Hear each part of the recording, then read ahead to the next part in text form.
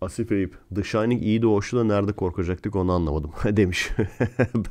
Aynısını ben de yaşadım. Bak o kadar çok film oluyor ki arkadaşlar. Bak o kadar çok film oluyor ki. Bakıyorsun. Tamam kaliteli film. Kab- kabul ediyorum. Kabul ediyorum kaliteli film. Vurmayın. Vurmayın. Kabul ediyorum kaliteli film. Ama bir daha seyretmem. Arkadaşlarına tavsiye ediyor musun? Etmiyorum. Çünkü tamam kaliteli film olduğunu kabul ediyorum ama ben bunu arkadaşıma söylesem o da sıkılacak. Ne bu amk diyecek ve bana küfür edecek. Türü film. Uzun oldu biraz farkındayım. Öyle çok film görmeye başladım ben ya.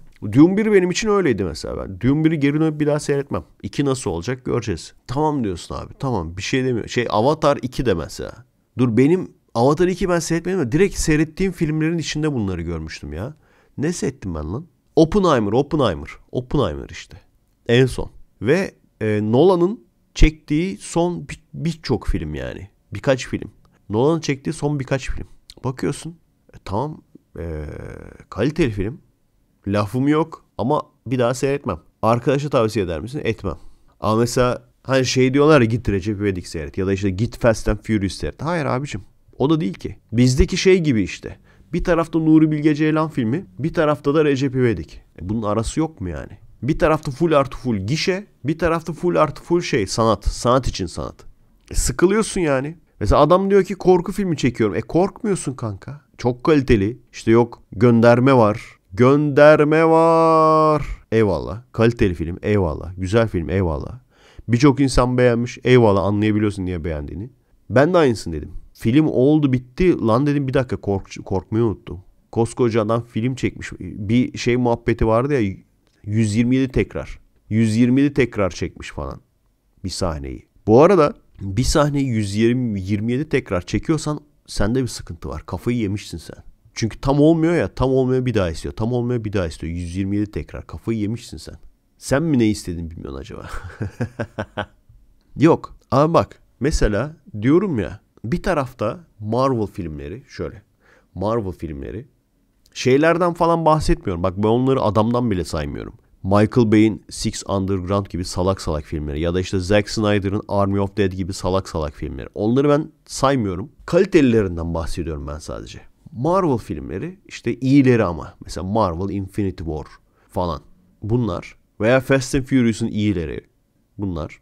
Bir de bu tarafta da şey Oppenheimer türü filmler. Benim sevdiğim abi ikisinin ortası. Hem bir şeyler olsun hem aksiyon olsun hem seni e, şey yapsın düşünmeye sevk etsin Hatta tartışma konusu olsun ama filmde bir şeyler de olsun. Oyunculuk vesaire vesaire, aksiyon. İşte o yüzden mesela benim için en böyle complete, en böyle tamam olmuş dediğim film Blood Diamond. 10 üzerine 10 yani Blood Diamond. Her şey var çünkü filmde. Her şeyle film yani.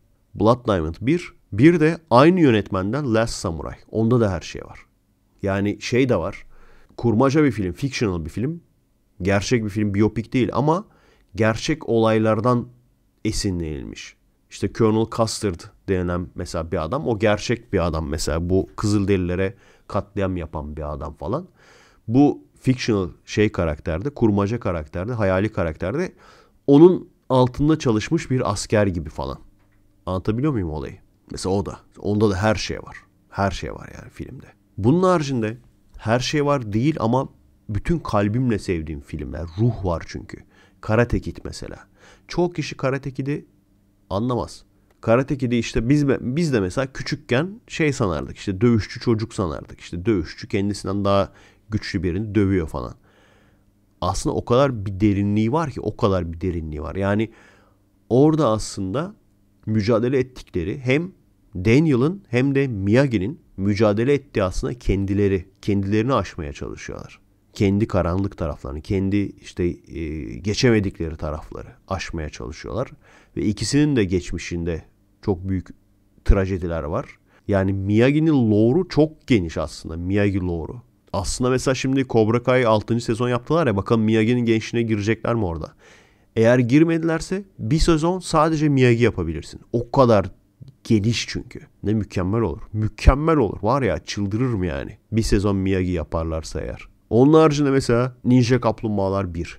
Yani komedi saçma sapan bir şey dersin ama o kadar bir ruh var ki içinde aslında. Splinter'ın baba gibi işte bunların çocuklarına bakması vesaire. Yani bayağı ruhu olan. Her filmi yeni. Aynısı. Eskilerden Robocop 1 filmi mesela. Toplumsal eleştiri aslında o. Sadece bir onlara herkese ateş eden bir polis değil yani. Ama mesela Robocop 1 gibi bir film çok çok uzun süredir çekilmedi. Ya da Terminator 2 gibi. Gene sorular soran, felsefi sorular soran bir film aslında. Ama aynı zamanda aksiyon filmi. Aynı zamanda gerçekçi oynadı. insanların gerçekçi oynadığı ama aynı zamanda bilim kurgu. Çekilmiyor ki böyle film artık. Yani öyle bir garip bir noktadayız ki abi. Ya böyle aksiyon olacak, aptal aksiyon. Ya da böyle entelektüel olacak. Kafası çalışanlar için aksiyon yok gibi bir şey. En son işte e, Nolan gene Dark Knight yapmıştı. O çok güzeldi bence. Çok kaliteliydi. Ondan sonra ne oldu bilmiyorum. Çıktı mı öyle bir şey bilmiyorum yani. Her filminin yönetmeni. Her filminde de aslında bak Her filmi de e, diğer aslında babaların yanına koymak haksızlık olabilir. Ama Her filmini çeken adam çok iyi çekmiş. Her filmine de ben aşığım. Birçok filme aşığım. Her filmine de aşığım. Ama %80 müzikler, %15 görseller, %5, %5 kolu. Asif Eyüp me- mesela Taxi Driver'da balon bence demiş. Ee, Taxi Driver'ın ben ele şeyini yaptım. Eleştirili de tanıtımını yapmıştım. Orada da konuştum. Çok fazla konuşmak istemiyorum linç yememek için. Herkesin çok sevdiği bir tek benim sevmediğim filmler diye bir liste yapacağım. Çünkü tam tersini yapmıştım ya kimsenin beğenmediği bir tek benim sevdiğim filmler diye. Bir de bunun tam tersi. Mehmet Gün Matrix'i unutmamak lazım. Bu arada Balina efsane filmmiş. Efe tavsiye için teşekkür. Evet. The Whale arkadaşlar Balina. Eğer ki seyretmediyseniz son dönemde seyredip de evet lan beğeniyorum ve tavsiye ediyorum dediğim filmlerden bir tanesiydi. Benim en sevdiğim film hala Fight Club demiş. Evet Fight Club da ondan 10 üstü 10 verdiğim filmlerden bir tanesi. Hatta tekrar seyrettim. Dedim ki dur lan biz bunu işte şeyken gençken ergenken 10 üzerine 10 vermiştik. Şimdi bir daha bir seyredelim. Olgunken gene 10 verdim. Çünkü 10 vermek için herhangi bir bahane bulamadım yani. Nolan en sevdiğim filmi. Dark Knight ama Memento'yu da seviyorum. Yani ikisini farklı sebeplerden dolayı seviyorum. Ondan sonra da Prestige. Gerisini de pek sevmiyorum açıkçası. Şeytan taşlamada da bayağı öyle oluyor. Tabii. Yani onlar da öyle bir e, şey gibi sürü gibi hareket ettikleri için abi. Onun faciasını da yeni bir e, videoda görmüştüm. O faciayı ben biliyorum. Şeytan taşlamada e, Türk hacılar da çok öldü. Kaçtaydı? 90'larda mıydı? E, o, o zaman giden bir hacı vardı. Orada işte o faciada ama o ölmedi yani. O ölmedi ama anlatıyor yani. Yaşananları falan anlattı bize. Hacı onda almıştık hatta şeyi evi. 89-90 civarı olabilir.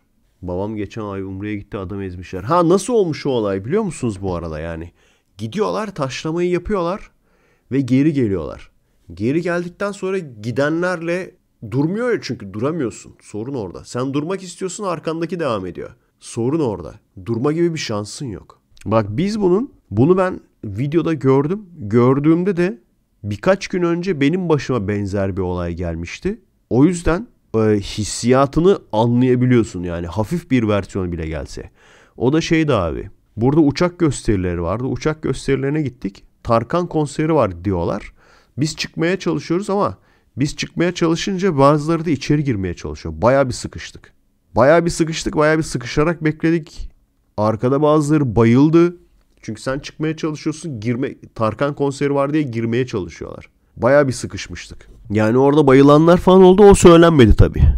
Ya şeyleri bile, haberleri bile çıkmadı yani. Halloween dönemi Kore'de büyük bir ezilme oluyor olmuştu. Onu biliyorum da o ezilme miydi ya? Neydi o? O Kore'deki ölenleri de hatırlıyorum. Halloween'de öldüler de tam olarak e, hatta ben onun videosunu da seyrettim e, ama hatırlamıyorum yani. Ezilmişler mi onlar da? Kaan Oğuz. Mekke'de tavaf sırasında ölen çok var.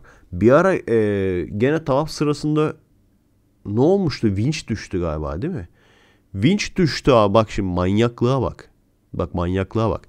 Şimdi bak mesela metal konserinde böyle bir şey olsa ya da müzik konserinde böyle bir şey olsa ne derler abi? İşte e, kafirler Allah'larından buldu derler değil mi? Mekke'de tavaf ederken vinç düşüyor birçok kişi ölüyor değil mi? O, o zamandı bu ölen kadını paylaşıyorlar. Yani vinç düşmüş kadın ölmüş ölen kadını paylaşıyorlar ve ne diyorlar biliyor musunuz? Kadına bak diyor cennete gideceğini bildiği için yüzü gülüyor diyor öldüğü halde. Kadın ölü yüzü gülüyor böyle onu paylaşmışlar. Alta full böyle insanlar işte Allah bana da böyle nasip etsin. Amin. Amin. Yazanlar böyle. Şimdi bak bu insanlara karşı ne diyeceksin? Bu insanlara karşı ne diyeceksin? Ne diyeceksin abi? Yani şunu yazan fanatik tayfaya karşı ne diyeceksin? Bana da Allah bana da böyle ölmeyi nasip etsin. Evet böyle bir ülkede yaşıyoruz. Böyle bir ülkede yaşıyoruz abi. Bunu söyleyen insanların ülkesinde yaşıyoruz. Bu tür insanlara şey desen şimdi e, bir kuyruklu yıldız tarikatı var. Kuyruklu yıldız tarikatı şeye inanıyor. Öldükten sonra işte kuyruklu yıldızın kuyruğuna binip öteki dünyaya gideceklerine inanıyorlar falan desen. Bunlar böyle şey der yani.